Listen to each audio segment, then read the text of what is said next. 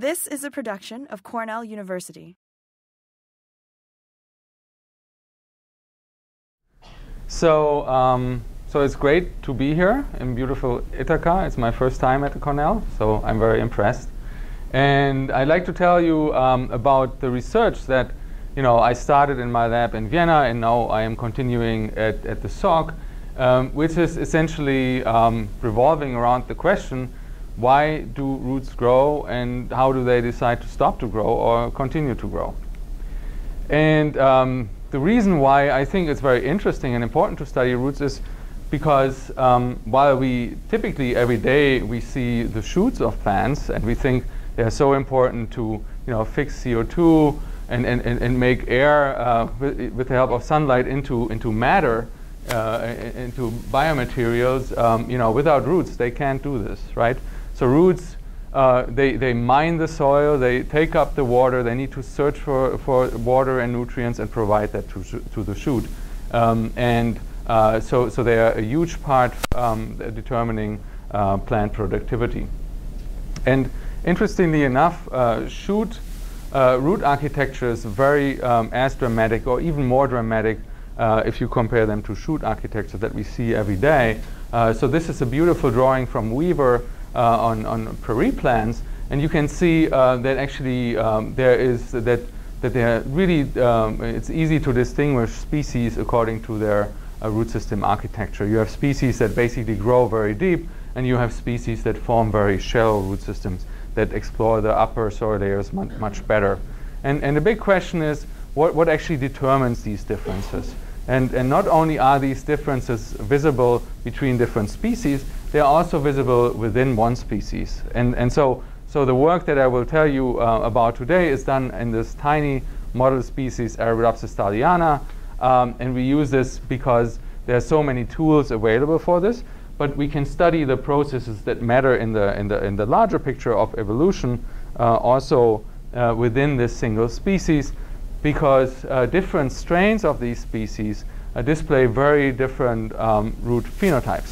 So, so, so we have natural variation already within the first two weeks of root development that you can see here. Just uh, seedlings of five different strains, accessions, uh, we call them, grown on agar plates. And you can see that there are accessions that grow very slowly and accessions that grow much faster, accessions that grow, that put out way more lateral roots and accessions that put, um, put out less lateral roots. And, and, and, and using uh, like this uh, model species nat natural variation within it, we can actually try to identify the genes and the variants of those genes that actually determine those differences. And, and that will tell us how actually roots you know, um, grow, are, are, basically genetically programmed to grow or to uh, in a certain direction, to a certain depth, or uh, stop to grow in response to certain signals. Um, so um, I, I was just alluding to the signals that make roots grow or stop to grow. This can be nicely seen here. Also, you know, just a five-day very early time course is enough to to see this very uh, very very very um, very clearly. So this is uh, those this is the same accession because Arabidopsis is a selfer. Those are all isogenic plant. So we are seeing here responses of the same genome to different um, growth conditions where we either remove the iron from the medium or the phosphate or the sulfate or we, we reduce the pH. And you can see that the same genome actually responds uh, very stereotypically to those uh, environmental changes. Uh, for instance, in iron deficiency, this accession stops to grow very early on, and then there's some hypocotyl elongation even. And then under, under phosphate deficiency, the same accessions actually grows uh, basically a little bit faster than under full medium. Uh, so, so we can see that we can study both the genotypic, you know, uh, causality for different root, uh, for, for root growth, but as well look at uh, the responses of uh, genotypes and, and of accessions to different environments.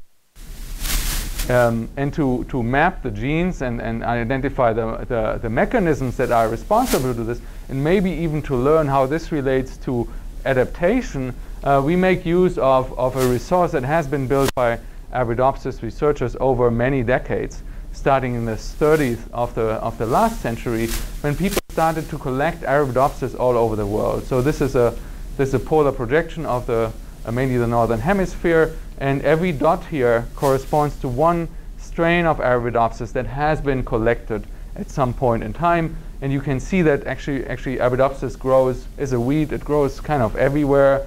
Grows from uh, northern Sweden to southern Spain, even northern Africa. Grows from the Atlantic coast uh, into uh, Central Asia, and, and we know that there are even Chinese accessions. So basically, Arabidopsis has expanded like all over Eurasia, and was introduced later on to to uh, the Americas. And so, so, so all these strains are available in stock centers.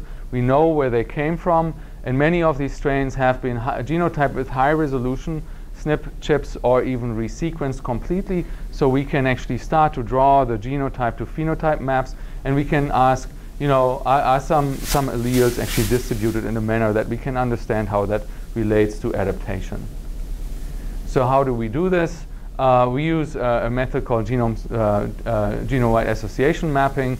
I just briefly out outline how this works. The principle is very simple. The statistics behind it are a little bit more complicated, but it's not necessary to understand this um, in, in, detail right now. But the principle is we measure a lot of phenotype. Let's say short root, like the length of the root. Uh, we quantify this accurately. We take the genome sequence or the genotype data, and then we try to correlate the difference, uh, the variation in the root length between different accessions to the variation in the genome sequence. So we do this all over the five chromosomes of Arabidopsis, and, and basically for every uh, polymorphism that we find, we can ask, do uh, uh accessions that have a long root have a different nucleotide at that position than accessions co as compared to accessions with a short root, right? If all the accessions with a long root have an A at this position and all of the accessions with a short root have a G, this will be a very high correlation, very high association. And then we can uh, basically plot the probability for this association um, uh, like over the whole genome. And we are looking for peaks where this probability is, uh, so it's a, it's a, negative logarithm of the p-value is very high. So that's essentially uh, the plots you will see today. Um, so when I started my lab uh, six years ago, um, it was actually very simple. This part was actually getting very simple because there were lots of labs who loved to sequence Arabidopsis strains. So, you know, the labs of Detlef Weigel, Magnus Nordborg, and Joe Ecker, they, uh, you know, started sequencing more than a thousand accessions, and, and genotyping efforts had been on the way. So, so we could just like download this part. So that problem was solved.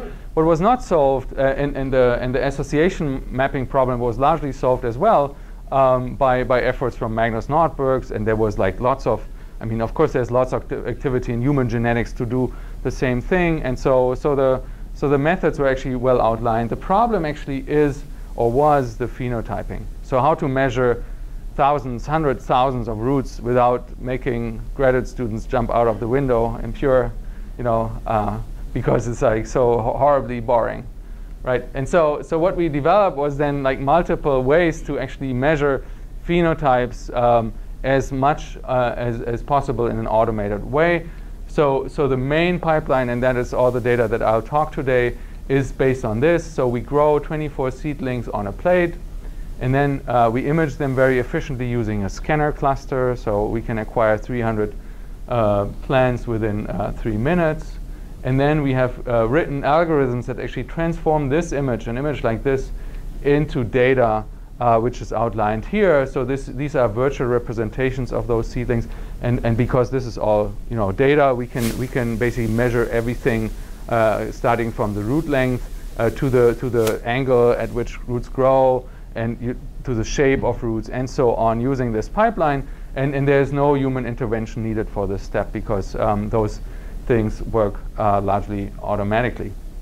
So with this pipeline, we we, um, I think we, we, we, have quantified, I think, almost like 3 million individual images of seedlings in different conditions from very different genotypes. And that works very, very nicely for the first couple of days for root development to quantify accurately and with very high, at a very high scale, like large scale uh, phenotypes.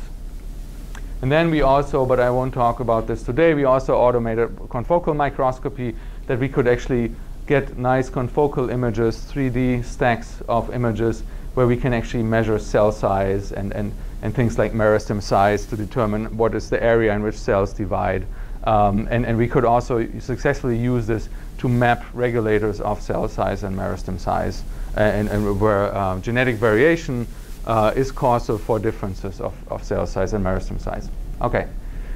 So today I'm going to talk about uh, two uh, projects mainly, well, two and a half, um, uh, where we uh, that illustrate, I think, nicely what we can do and what types of questions we can understand uh, using natural variation in our tools.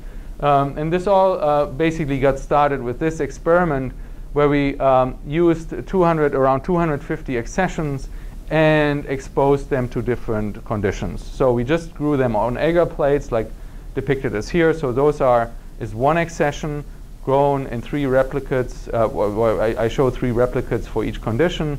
Um, and you can see that, as I showed in the movie before, that in different uh, uh, conditions, when we drop out different nutrients, we actually get a very different uh, root response. And so we did this for each of those uh, 200, around 250 accessions, and we then can encode traits and colors. So here we encode growth rate. So uh, a yellow color means that uh, there's high growth rate, a blue color means there's low growth rate, and each of those rows here corresponds to one accession. So basically here you can see different patterns of growth responses. You can see that there are conditions like iron deficiency where you know most of the accessions do basically the same thing. They stop to grow. Some of them stop earlier. So the, the blue that already get blue on day one. Some of them stop later. Uh, so basically continue to grow despite this deprivation of iron. But then there are some conditions where basically some accessions basically increase their growth on day four, for instance, and some accessions decrease their growth. So you can see this, this response to the environment um, is, is really dependent on the genotype. And uh, because uh, especially micronutrients like, like iron will be in sufficient quantity already in the seed, this is most likely not dependent on like accessions running out of a nutrient, but rather an active response to the information, to, to somehow a sensing process that tells them there's less or uh, there's basically less of this nutrient around. Uh, so you can see that uh, in, in, this nice movie where, where, where for iron deficiency uh, you can visualize very nicely this different response. So those are two accessions that, that grow the same way under full, uh, in the full medium, but this accession grows, uh, like basically stops their growth very early on and then somehow prioritizes the hypocotyl growth a little bit more, and this accession continues to grow to a later time point under this, right?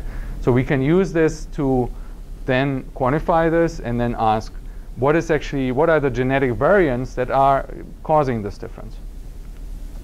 So the first uh, uh, you know project that we started, we started to phenotype 138 uh, Swedish, uh, 134 Swedish accessions from this region. Those had been collected by Magnus Nordborg, and, and Sweden is actually a very interesting. Um, uh, it's actually a very interesting collection because within Sweden, even if, if, uh, if you think whole Sweden is cold, there are differences in climate, and northern Sweden is way colder than southern Sweden, and there are also differences in soil types and so on. Plus, it is a local population, so mostly the same alleles will, will, will, will be present in this, uh, in this population, and, uh, and, and, and it's, uh, it's easier to map, map common variation for this. At least that's what, we, that's what we thought, and I think that's actually what we found. Okay. So uh, just to demonstrate you, so when we uh, did iron, uh, the growth on, on iron medium, so you can find everything, like all, almost always with natural variation. Some of the accessions, they actually stop very early, their growth. Some of them stopped late and, and basically elongated longer. And then when we mapped this, we found this one peak on chromosome 1 that was above our significance threshold um, that was uh, very significant. So when we then zoomed in, so we in this, uh, in this region, um, it was in a region, the SNP was in the region um, of uh, FRO2, which is a um, major uh, regulator of iron homeostasis. So, so this is from, from a review where you can see uh, the en enzymatic activity of, of FRO2, where, um, where it basically uh, does this, um, uh, catalyzes this reaction from um, iron and, and to iron 2 plus, which then can be transported within uh, into the cell. And that function has been known already a long time and made it a prime candidate just based on its annotation. So usually we don't like to use annotation uh, for prioritizing candidate genes because there is always the danger that you kind of wag your own tail, uh, that you kind of think um, something plays a role, and then when you look at the knockout mutant, of course, most likely it will play a role. So we always uh, typically take um, uh, additional independent data to assign more confidence to can candidate gene before we go on a more time-consuming, you know, genetic characterization of this.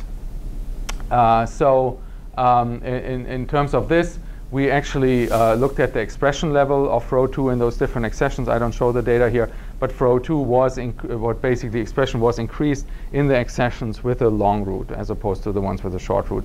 So there was additional evidence for this. Of course, the, the final test that you can do is to take the alleles from those accessions and put them in the mutant background if the mutant background shows a, a phenotype. And so, uh, so indeed, FRO2 actually under low iron conditions uh, shows a shorter root. And so what we did is we took the allele, the FRO2 allele from this short rooted accession.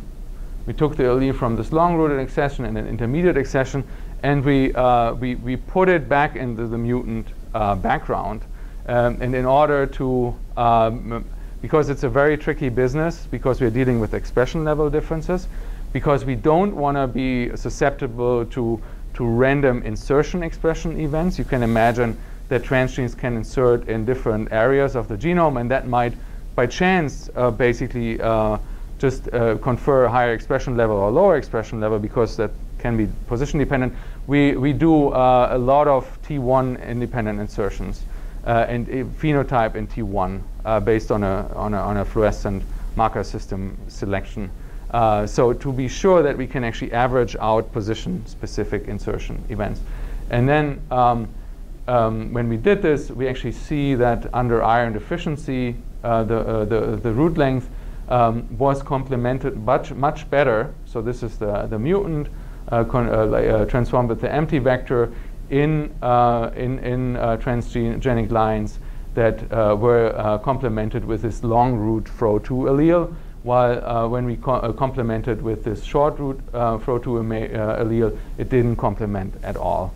And, and most likely because FRO2 um, is in, in those accessions not expressed at that, at that point of time. Okay, so, so that uh, made us confident to say actually variation, natural allelic variation for FRO2 is causal for this. And it's just another example where we actually can go from the phenotype to the gene uh, with genome-wide association mapping very efficiently. And so, uh, so why is this? So uh, the polymorphisms between those two alleles are non-coding in nature. So there is no change of the of the of the amino acid sequence of the protein. Uh, there are a couple of uh, changes in the coding sequence that don't lead to an amino acid change, and there are also some SNPs in the regulatory region. Uh, so uh, this is all non-coding non-coding regulatory. Um, and, and consistently with this, when we measure in the lines that actually complement mentor to a better extent um, the expression, um, it is much higher compared to uh, the, the, the, short root allele of FRO2. And this is also completely non-surprisingly true for the enzymatic activity. So this higher RNA expression of FRO2 translates in a higher activity of the enzyme that we can measure in this in this assay. So, so we can really, like going from, from the genetic variation over the expression to the enzyme activity, we can make the case that this is uh, more causal, uh, is causal. Another interesting thing was when we're thinking of natural variation that, that we see, you know, common natural variation in populations, it will be most likely related to adaptation. But of course, like um, growing on agar plates in the first couple of days, and growing a little bit longer doesn't tell us uh, so much about um, effects that relate to fitness. So we basically did the test that we grew um, these complemented lines under alkaline pH where iron availability is actually uh, reduced. And we can see that um, uh, the, the allele of the FRO2 from the lines with the longer roots is actually much better in, um, in, uh, in, in dealing with this than uh, than, than the allele from the line of uh, with the shorter roots. So we think that somehow gives the plants an advantage to grow in iron limited environments. So does it matter uh, when we look at the when we look at the places where the accessions come from? So this is a map of Sweden, and this is the soil type um, that is indicated by the colors. And you see that uh, when, when we look at the two Fro alleles, one allele is the A allele, pictured in black. The other allele is the G allele, pictured in, in, uh, in green. We can see that most of uh, the, the black allele is actually in the north of Sweden, where there are podzols, uh, which, which is a specific type of soil that's highly acidic and where iron, for instance, gets washed out very fast, um, while the other allele is predominantly in the other soil types in the south. So, um, so that could give an indication that actually the different alleles might be adaptations to different soil types. Now, um, this is not, not, not a like complete evidence because it is very different, difficult to separate population structure. So um, um, that, that, means uh, those guys are way more related among each other than those guys from, from adaptive features. So to really test this, we would need to go to Sweden and, and do reciprocal transplants, and, and we, haven't, we haven't done this yet. But it's a hint, so it's an hypothesis that this might actually be one, the one FRO2 allele might be an adaptation, might be beneficial in podzols. Okay, so that's one of, uh, one of these, these stories and, and, and these projects where we identified one gene and, and variants of the gene that is responsible for a certain trait and for a certain response. And we have a couple of those in the lab, and, and, and it's very, very interesting. But of course, um, but of course, kind of uh, something that we know from you know genetics, biology, is that genes don't act alone. So you often have interacting genes, you have pathways, you have multi-subunit proteins, um, and and the question is, can we actually using natural variation um, and, and, and, and, and, and, and, and, the variance uh, from these to identify um, more than one gene, but, but rather pathways or, or modules of genes that work together as proteins uh, and, and, and are important in, uh, for, for regulating traits and biological functions. And so, uh, so, so that is actually one of the, one of the most exciting applications of genome-wide association mapping that I see because unlike a mutant screen where you basically really try to isolate the one mutation, we are having to deal with like a, a, bunch of like of many mutations that we have to consider. This you can see as a disadvantage because it makes things complicated, but you can see it also as an advantage because if uh, you you might think that um, in one like to achieve one trait variation you might target the same pathway multiple times, and if this is so, it might be a very important pathway for that trait. Okay.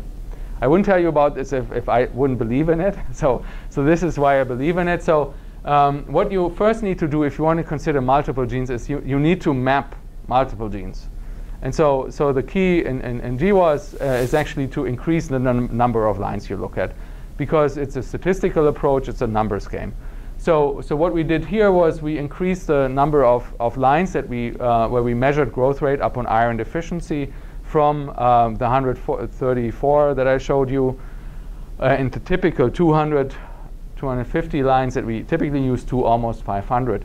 And you can see that there are way more uh, uh, signals above the significance threshold than previously. So we got more than 20.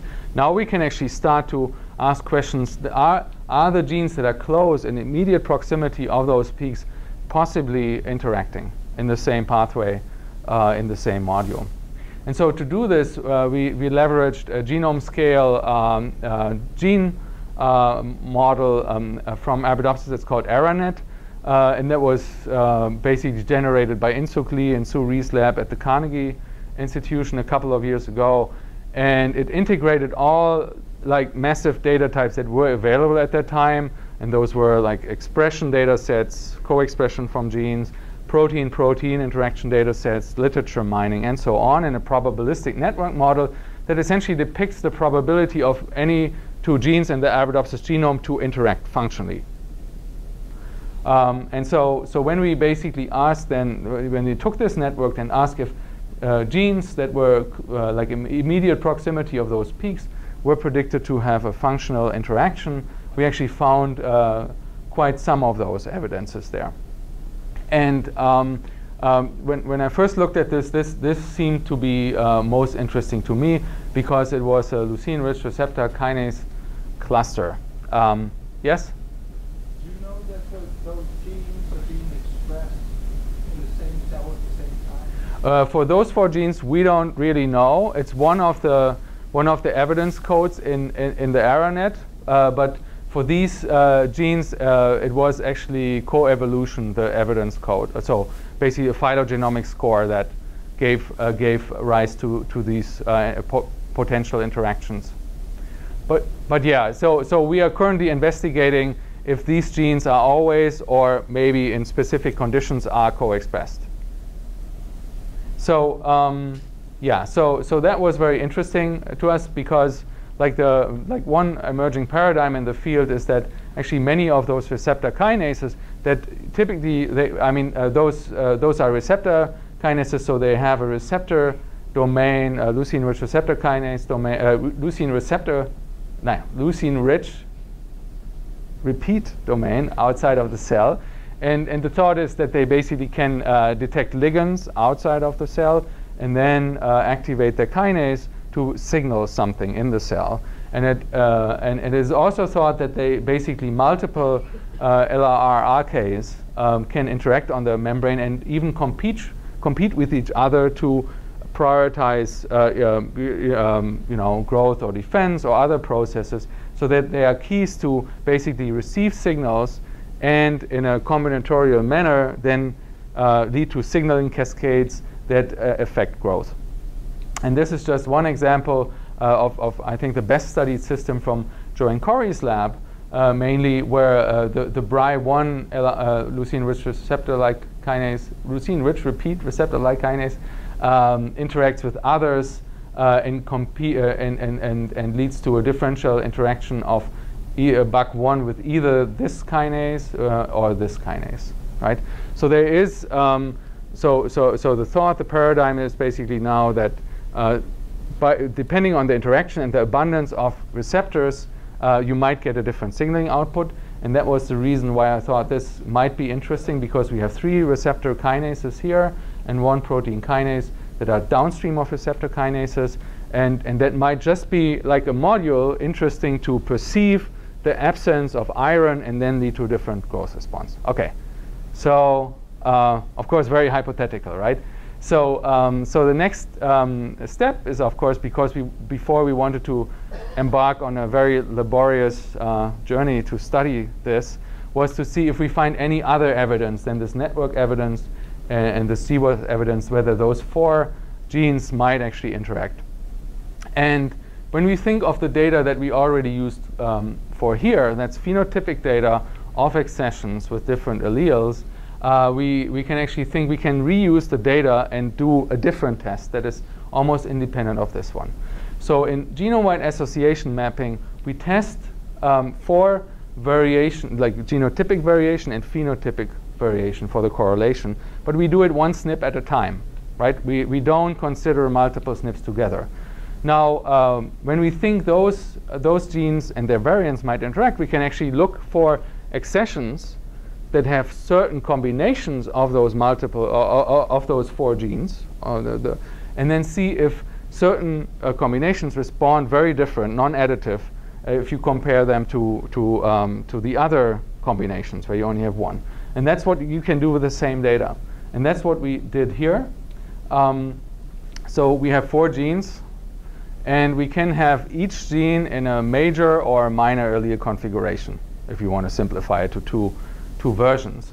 And so, so we can have accessions that have either all of them in the major allele combination, or you can have accessions that have all of the four genes in a minor allele configuration, and you can have everything in between, right?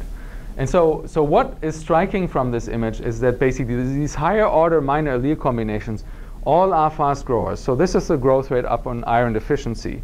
And so the fastest growers are all accessions that contain three or four combinations of minor alleles of those four genes, with one exception, that is the, uh, the, the, double combination for uh, two specific genes, uh, FUR1 and SRF3. So, so that was, to me at least, it was enough to say, okay, let's spend some time to test whether this is true. Okay, so I told Santosh, my postdoc, just generate all possible higher mutants. And yeah, it took a while. We get in a time machine. Three years later, uh, we have this. Uh, so, um, so, so, so this is basically the outcome of all possible combinations of those mutants. So, so we can see it's, it's very complicated. There are a lot of effects. This is the growth rate upon iron deficiency, and, and this is kind of the same nomenclature as I, I showed you before with the variants, like four genes, and the capital letter is the wild type form, and then the non-capital letter is the mutant form. Okay, so let's go, uh, let's go directly to the statistics here, and I'm going to guide you through this complex analysis. Okay, so the first good news was that, and we knew that before, we tested the single mutants before, but so, so all of the single mutants are uh, significantly different from, from the wild type. So this is a significant uh, code for the ANOVA, and we can test the effect of singles and of multiples. Okay, so, so we know that all of these receptor-like kinases, so those are the three, and the protein kinase are somehow necessary for the appropriate response to iron deficiency. Okay, so that's good.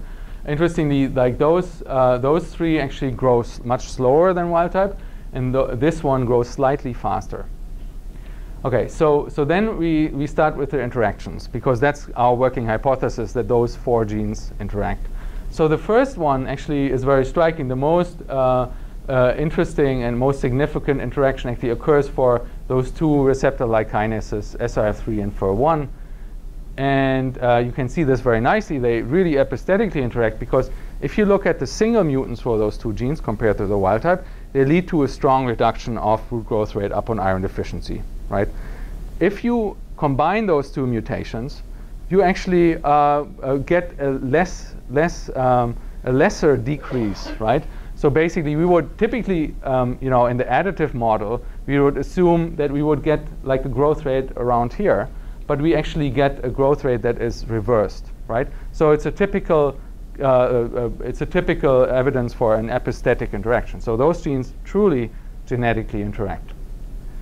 And if you remember the variant analysis that I showed you previously, it's the same combination that we actually uh, that we actually found this uh, dramatic increase already using the double the double um, in accessions that actually harbored the double minor allele combination. So there's something special about this interaction. Okay, so that's a very primitive model. So this is my leucine-rich repeat domain, and, and, and it's the kinase. And so they too somehow, that's a working hypothesis, interact. They're on the membrane, they interact, and they somehow regulate growth upon iron deficiency. So um, the question is, is it, is it actually true?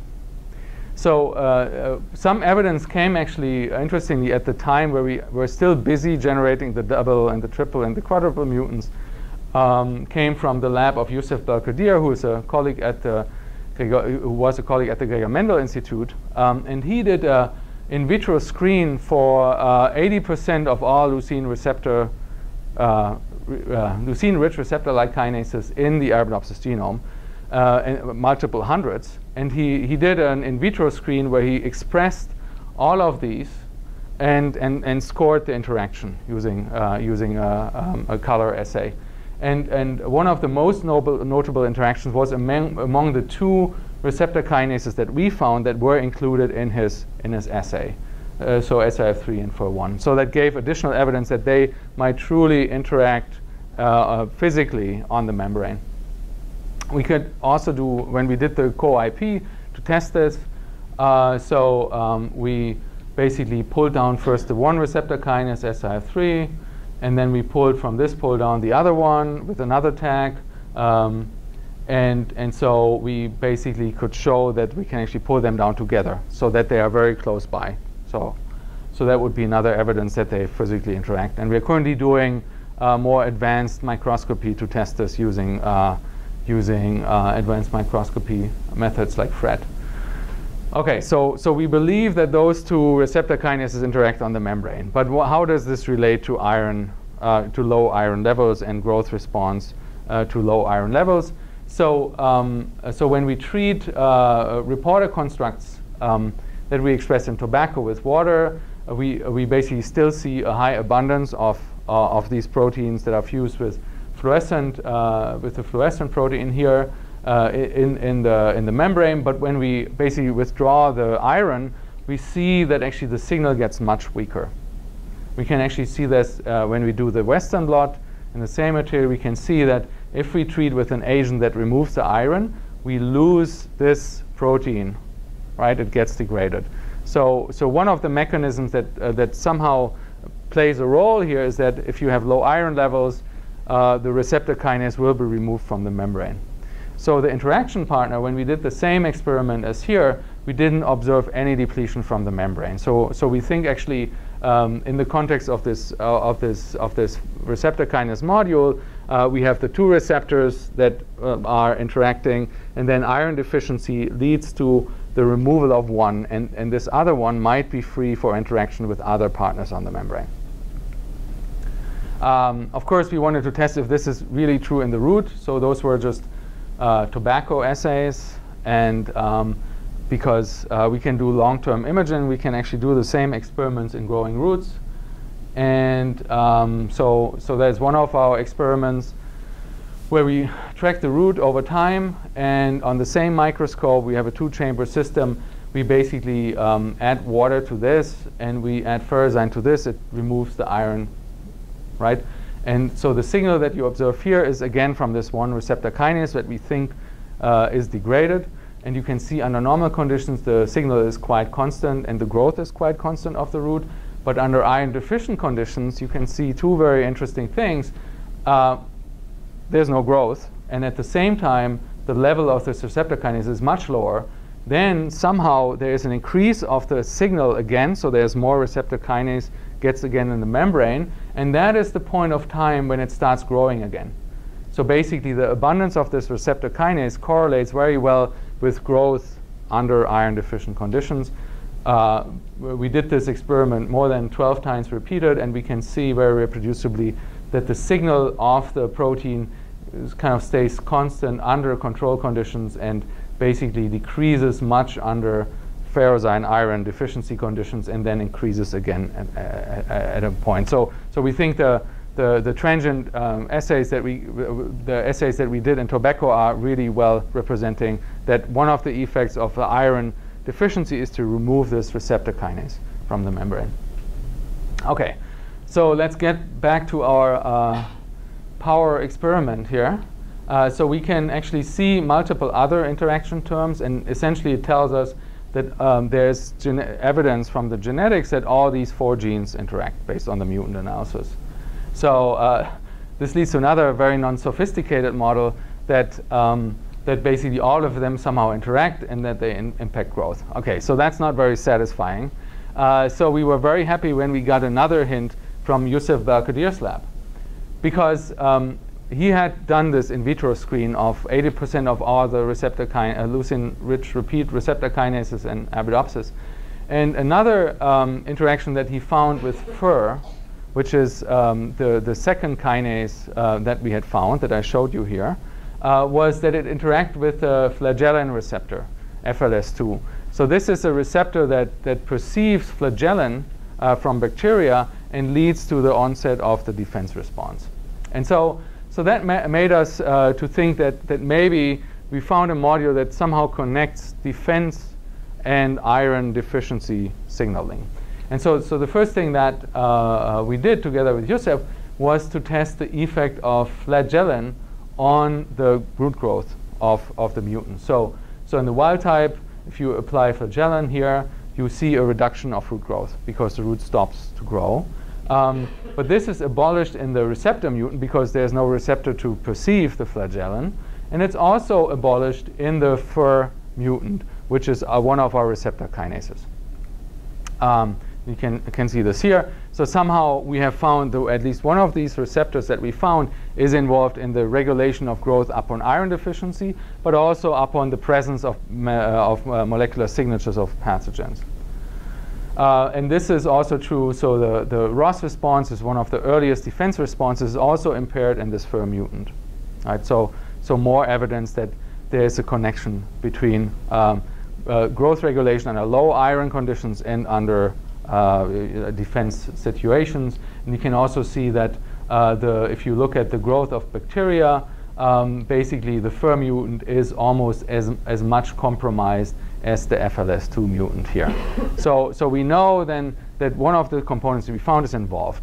Interestingly, another receptor kinase of the, of the three we found, SRF3, and there was also uh, the one that I showed you earlier with its interaction with, with, uh, with FIR1, um, has also been implicated in immu immunity in a different study before by, by Jane Parker, where uh, basically this um, uh, mutation of this and, and, and, different alleles lead to compromised immune responses.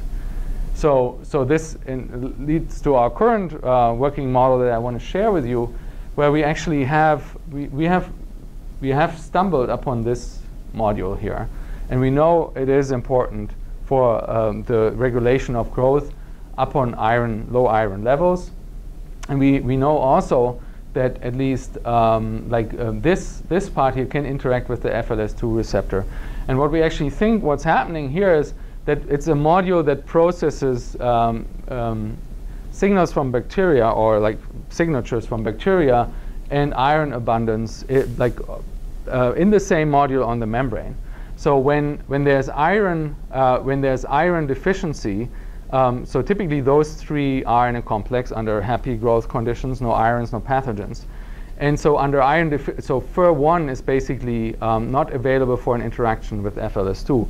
But if the iron is going away, um, and we think this might be in part perceived by this receptor kinase, um, you remember uh, the, the mutant actually had increased growth rate under iron deficiency as if, if it wouldn't sense that the iron is low. Um, we think uh, we, we know that SRF3 is actually degraded, and um, those two receptor kinases don't interact directly. And FIR is actually free to interact with FLS2 receptor, which somehow leads to a stop of growth. So that's a working model. There are many open questions, which we're currently solving by co-treating with iron and flagellin. And, and so, um, so to corroborate this working hypothesis. I mean, what is known that there is a there's a very intimate relation of iron levels and defense um, that has been described in a very descriptive manner in the past by people, and, and we think that actually might be a key module. So I think uh, what this this nicely shows is that you you, you can leverage um, uh, you know quantitative genetic approaches to identify multiple genes, get to interesting mechanisms that tell you no interesting and novel biology, uh, and, and, and, and lead uh, to, uh, to basically um, a better understanding how actually there's crosstalk. And the interesting thing about this crosstalk is that it seems to be entirely happening on the membrane. Okay, so I'm running out of time. Is that, uh, yeah, okay. A few minutes, okay. So, so there's the other question. So is this, is this specific to iron? So when we stumbled about this, uh, we were actually very, we were kind of surprised and, and so, um, so, so we were thinking, okay, so that's just one way. There's like this one intersection of, uh, of the response to micronutrient deficiencies or low levels in the environment and defense. But when we then um, did other screens, and, and we do a lot of screens, we actually uh, found something very interesting uh, in collaboration with Hatem Rouached, who is at the INRA Montpellier, when we looked at zinc deficiency response, where you can see very nicely that accessions also respond very differently. Some accessions actually um, don't bother very much, even increase their growth rate under zinc deficiency in the first couple of days, and some of them actually reduce their growth rate quite a bit. So we met this. We found a zinc deficiency specific peak on chromosome 4, um, and that was um, located very close to um, the AZI1 gene and other AZIs. So AZI1 gene is implicated in systemic uh, immunity and, and priming uh, based on the effect of um, azelaic acid, um, and uh, that already had been described.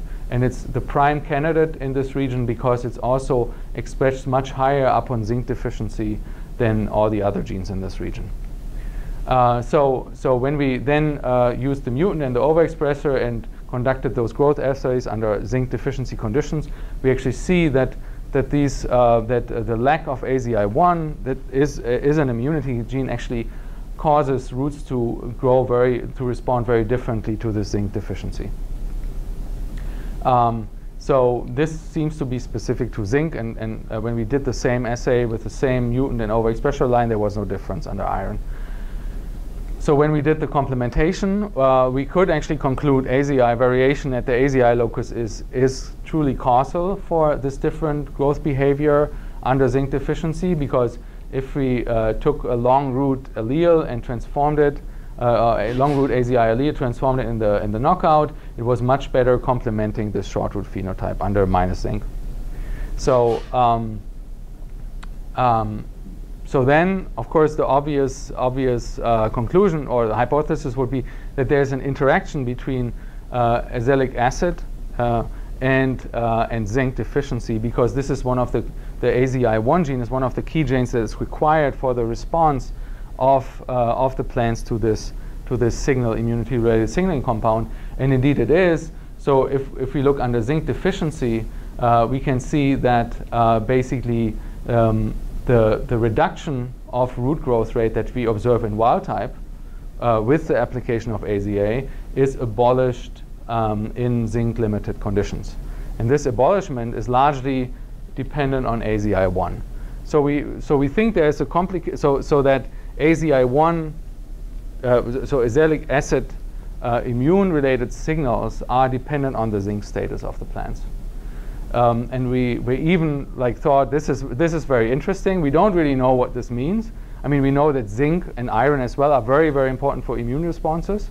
Uh, and that there's, uh, in, in many systems, there is a kind of war for, for iron, and also zinc is used for defense responses. Um, whether this uh, simple interaction is, is also conserved in different plant species. And so, um, so uh, we did the experiment in rice because it was in hand uh, for a collaborator of Hatem. And so you can see that actually this um, root inhibition of root development, so when we increase the concentration of AZA under normal conditions, zinc sufficient, we basically um, inhibit the formation of the root completely, right? Uh, or the emergence of the root. And uh, if we remove the zinc from the medium, we basically don't affect this process at all, right? So, so, there, uh, so this interaction of, of zinc levels and, AZ, uh, and azelaic acid and um, in Arabidopsis uh, depend on AZI1 is, um, is truly somehow a process that's relevant for, for many species. And, and the big question is why, why is it actually? Okay, but that's a question that I can't answer right now. Um, I mean, just other than speculating. Okay, so I just go to the acknowledgments. So I hope I've shown you that, um, you know, the, the ways how we approach this problem using natural variation can tell us a lot on how roots decide to grow or not to grow because it depends on genes and genetic variants, how at which levels and which time actually growth is stopped and presumably defenses in, in, in those two cases are, are basically defense responses are started. And, and, and this work was mainly done by, um, the, so the iron-related work was done by Santosh Satbhai, a postdoc who started a couple of years ago at the GMI, now came with me to Salk, which I'm very happy about, uh, was assisted by a master student, very talented. And the second part of the story was also done by Santosh Satbhai, and, and, uh, and, and, most of the work was actually done in Hatem's uh, lab at INRAM Montpellier by Nadia Bouain. And with that, I thank you for your attention.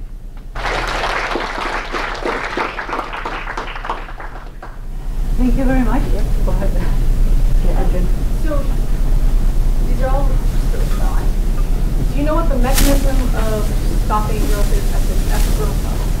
Yeah, that's that's a that's a very that's a very good question. Um, well, we know that the meristem basically they it gets shorter, cell division activity goes down, so there will be uh, there will be signaling on the cell cycle.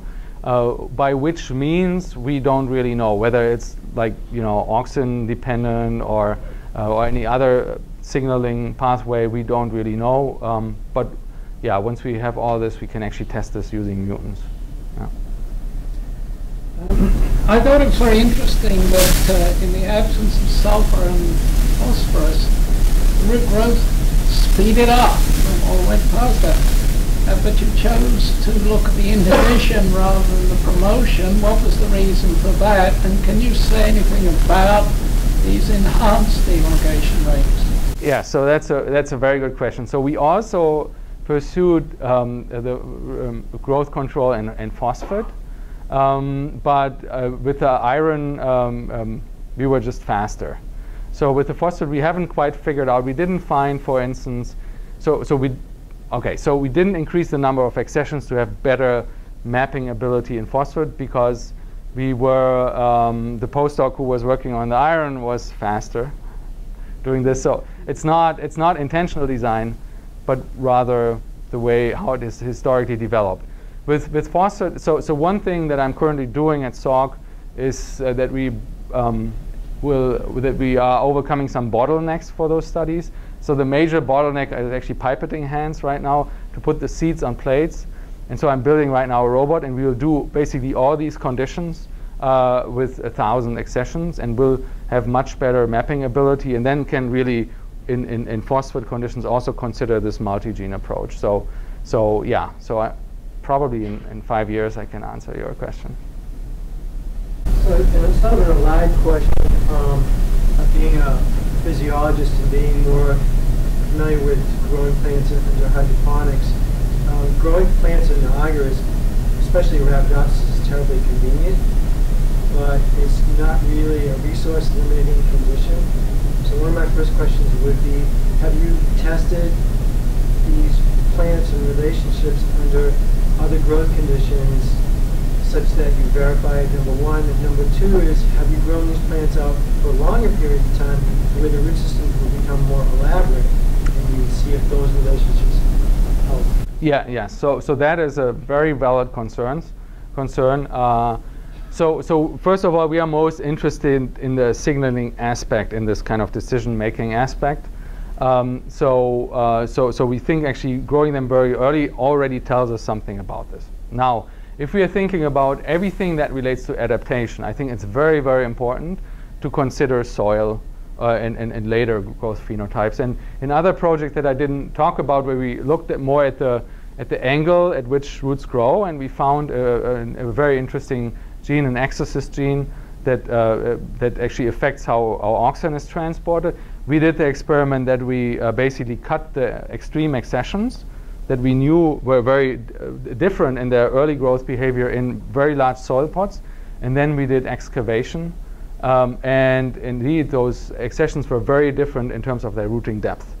So in that, in, in, in, in, uh, for, for in, in that, for that question, it, it seems that there was a very almost linear relationship between those early growth rates that we measured and the, the rooting depth. Now that is not, not necessarily true for other conditions. For instance, if, you, if we think about those nutrient deficiencies, of course at some point, you know, plants will run out of the nutrients and then they, I mean, they don't have enough to grow, right? So, so, so that would be anyway, like the, the question of nutrient efficiency and homeostasis is a very different question from the, the one that we're asking right now. But it, it would be good, yeah. I mean, like for questions that, uh, that, um, that, that are related to adaptation, we have to do those experiments. And I agree. And we're doing uh, as much as we can. so I had a couple of questions. Uh, in one of the slides, you showed that uh, along with the changes in root growth, there was also a change in the hypocotyl. Um, yes. So related to the previous question, is there, um, as the plants grow, do you think one strategy for root development is better or um, better over other, or it would depend on the integrated aspects of plant physiology? I think in the end it's the integrated aspect of plant physiology because the plant has to grow and, and produce enough seeds to survive, and that is the trait, I mean, uh, that will be selected on uh, for sure. But but the environment, I mean, all these accessions will have adapted to certain environments. And the way how you actually are more fit in those different environments will be very different.